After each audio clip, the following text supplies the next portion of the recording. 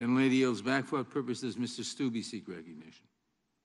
Move to strike the last word. Gentleman is recognized. Well, we just heard that that's exactly what the Democrats want to do here today. Their plans and their intentions are clear. They want to take away law abiding citizens' ability to purchase the firearm of their choice. And don't let them fool you that they are not attempting to take away your ability to purchase handguns. They're using the magazine ban to do it. Last year in 2020, 20, in 2021, the Glock 19 was the highest sold handgun in the United States. It comes with a 15 round magazine. That gun would be banned. Right here in front of me, I have a Sig Sauer P226.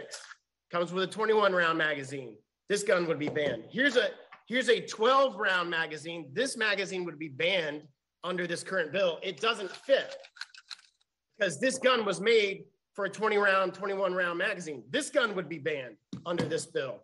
Here's a Sig Sauer 320. It takes a 20 round magazine, takes a 20 round magazine.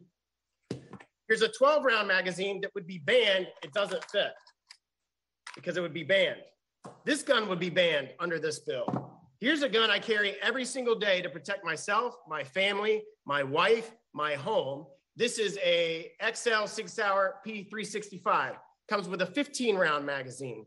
Here's a seven round magazine, which would be less than what would be lawful under this bill if this bill were to become law.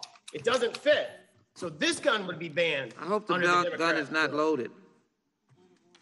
I'm at my house. I can do whatever I want with my guns. Raise a So point of order. is exactly what the Democrats want to do. Now,